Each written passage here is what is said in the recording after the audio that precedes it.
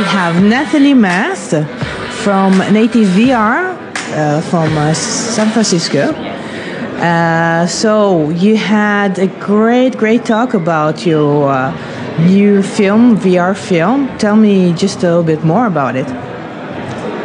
Oh, thank you. Uh, yeah, it's called U-Turn, and it's an experience where you get to be in the shoes of a woman working in tech, and you can choose at any time. Uh, we decided to give some control to the user, to the viewer, and you can shift between a female point of view or male point of view in the story.